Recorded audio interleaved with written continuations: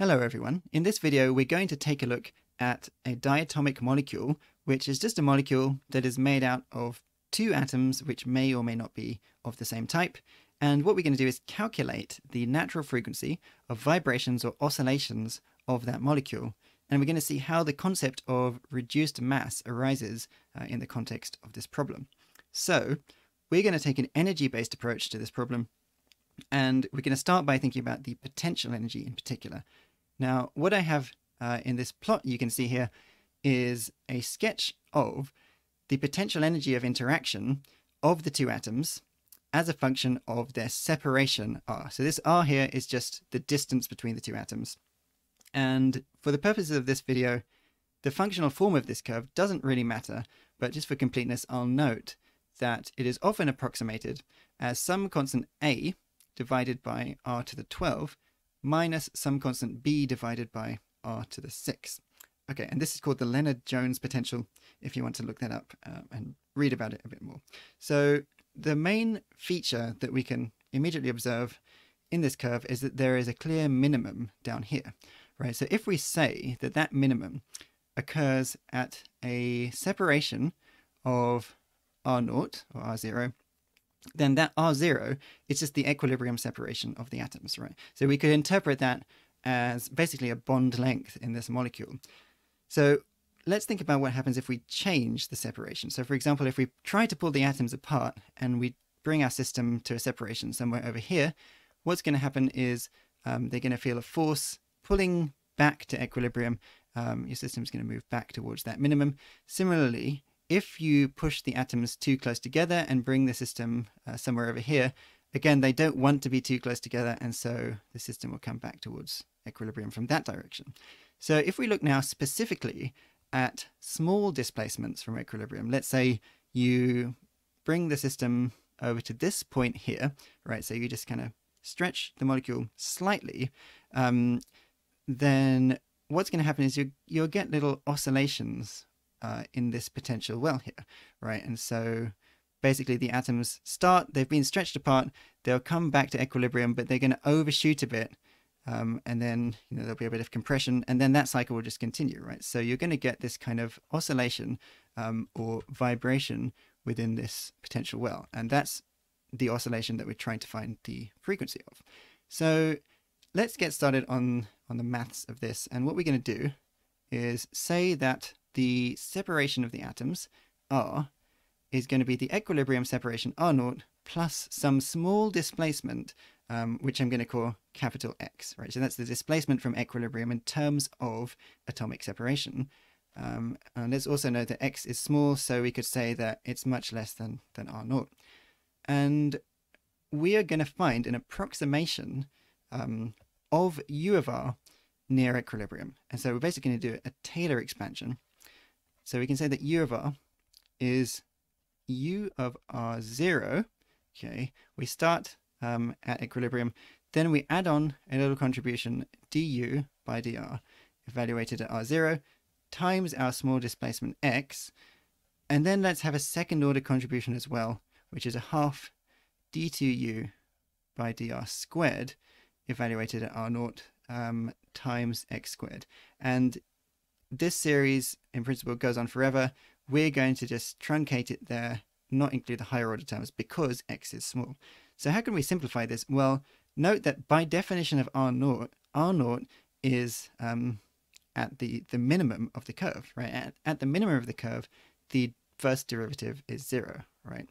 So actually this linear term in x just disappears because du by dr at r naught is zero by definition. Um, and so what we've got is that u of r is approximately equal to u of r naught. And let's use some nice concise notation here. There's no linear term. The quadratic term can be written as a half u double prime of r naught times x squared. Okay, where double prime just indicates a second derivative. So there you go. That's the potential energy. Um, and now we want to start thinking about the kinetic energy of the system. So let's just write here kinetic energy. And to write the kinetic energy of the system or of the, the molecule, it's going to be necessary to define a few new quantities. And so I'm going to just draw a diagram to clarify what these quantities are. So we've got an atom there and an atom there. Um, and they're at this equilibrium separation of R naught. And let's say we pull this one on the left to its left. Let me redraw that arrow. To its left by some amount, which is given by x1 and we pull the one on the right to its right by some amount which is x2 and let's also define the masses of these atoms to be m1 uh, and m2 so I've drawn those x1 and x2 arrows um, as different lengths because in general they're not going to be the same as we'll see shortly. So given these newly defined parameters um, we can say the kinetic energy let's call it ek is just going to be a half um, so we're going to get the kinetic energy of the first atom, which is going to be half m1, and then we get x1 dot squared, where a dot is a time derivative, right? So this x1 dot is the velocity of atom 1. And then we get a similar contribution from atom 2. Uh, so maybe we can factor out the half because that's going to be common to both terms. So we get a half of m1 x1 dot squared plus m2 x2 dot squared. Right, so at the moment we can't make much progress because we've got all these variables. Um, we've got capital X um, and we've also got x1 and x2. So let's try to kind of reduce the number of degrees of freedom in this problem and express x1 and x2 in terms of capital X so that it's in the same kind of form as the potential energy. So how can we do that? Well, there are a couple of constraints on x1 and x2. The first of these is just going to be that if we add x1 and x2 together, what do we get? Well, that is the total amount of displacement from equilibrium, right? Which you can see just by looking at this diagram, right? We've got this displacement x1 to the left, x2 to the right. If we add them together, that's the total amount um, that the atoms have been displaced through equilibrium. So that is by definition just capital X. Okay, so what else do we know? Um, well, there is no external force acting on our molecule, which means that the center of mass of the molecule is not actually moving. Now, if the center of mass is not moving, um, we can say that m1x1 has to be equal to m2x2. Right, so that comes from the fact the center of mass is not moving. You can also understand it in terms of um, conservation of momentum, um, writing down the conservation of momentum equation and integrating both sides with respect to time. Um, so either way, you get to this result, um, which we can easily rearrange to make x2 the subject. x2 is going to be m1 over m2 times x1. So if we take this expression for x2, substitute it back into equation 1, let's see what's going to happen. We'll get x1, um, and then we're going to get plus m2, sorry, m1 over m2 times x1. So let's factor out an x1. We get x1 times 1 plus m1 over m2 is equal to x. Um, so let's rearrange that uh, just to make x1 the subject, Write x1 in terms of capital X. x1 is just going to be x over that bracketed factor 1 plus m1 over m2. And then we can just make this look a bit nicer by multiplying up uh, by m2. And so we find x1 is m2 capital X over m1 plus m2. And once we've got that, we immediately know x2 as well, because we just multiply by this ratio, m1 over m2. So we can write down that x2 is going to be m1x divided by m1 plus m2. And what that means is we can now express the kinetic energy in terms of uh, just capital X, right? It's not going to depend on, on x1 um, and x2. So let's go back to this expression up at the top for kinetic energy um, and substitute in our newly found expressions for x1 and x2. So Ek, kinetic energy, is going to be 1 half of, so our first term is m1x1 dot squared. So we're basically taking this expression over here for x1, differentiating it once with respect to time and squaring it. So what's going to happen is we get this m1 um, from our ek expression, and then we get an m2 squared and an x dot squared divided by that denominator m1 plus m2 all squared. Okay, just substituting in our expression for x1, Um, and then we get a similar term for x2, right? This time we get m2 times m1 squared x dot squared divided by m1 plus m2 all squared. Now, note that there is a common factor of x dot squared in both of these terms, so we can take that out. Um, and also note that they're both terms in the square brackets are over the same denominator, so we can just add the numerators. Okay, so let's do some algebraic simplification. Um, so ek is going to be half of, right? So let's think about the numerator. If we add this m1 m2 squared and m2 m1 squared, there's actually a common factor there of m1 m2. And so we could factor that out, write it as m1 m2 but then we've got an additional factor of m2 from the first term and an additional factor of m1 from the second term. And then that's divided by the common denominator m1 plus m2 all squared. And then we've got this factor of x dot squared. Now conveniently this m2 plus m1 cancels with one of the powers on the bottom.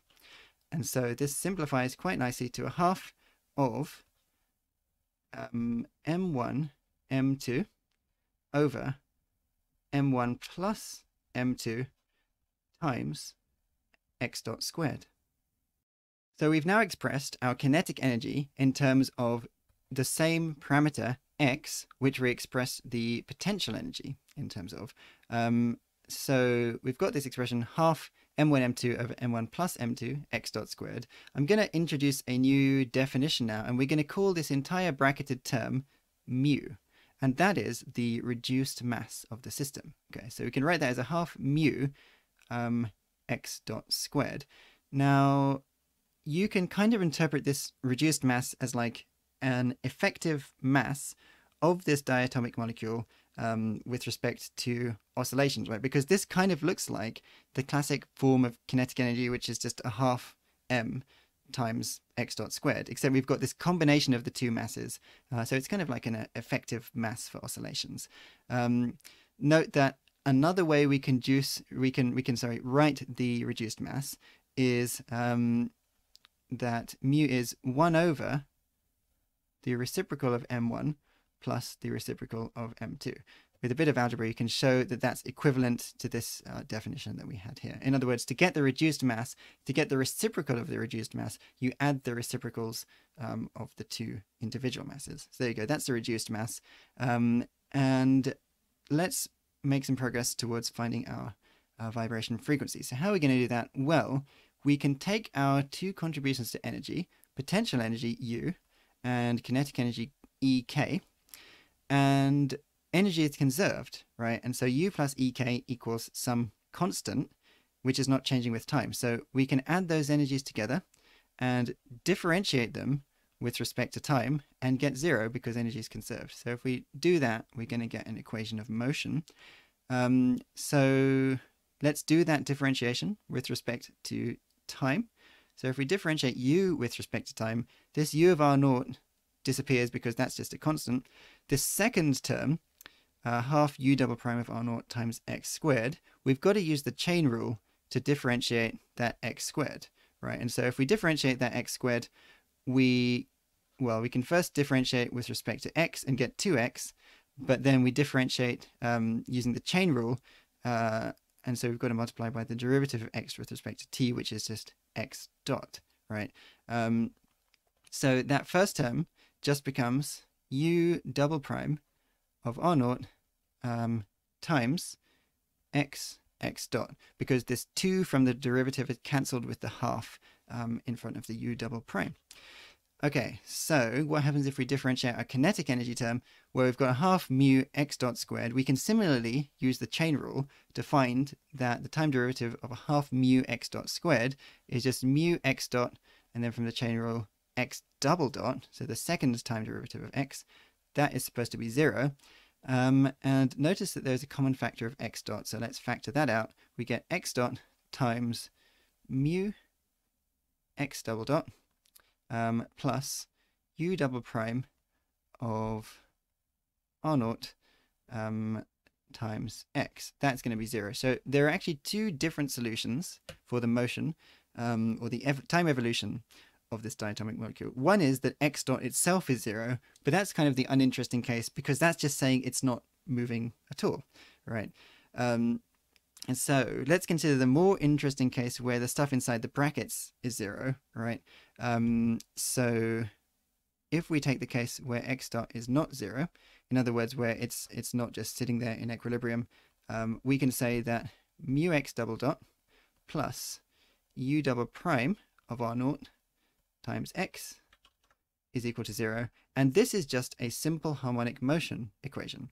Okay, so this is just SHM, simple harmonic motion, um, and there is an effective mass, okay, effective mass of mu, and there is also an effective spring constant um, of u double prime of r naught, right? Because the standard form of the SHM equation is mx double dot plus kx is equal to zero, where k is the spring constant.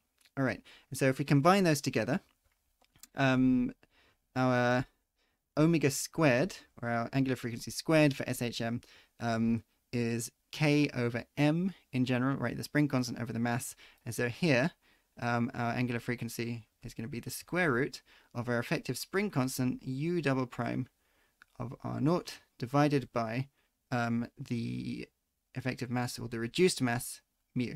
Um, and there we go, we found the angular frequency of small oscillations um, of a diatomic molecule. And so what you could do if you wanted to is actually evaluate what R naught is using calculus, given the functional form of U of R um, that we mentioned at the beginning, you can evaluate R naught and also find the second derivative of U of R, plug that into your equation for the frequency and get out an actual number.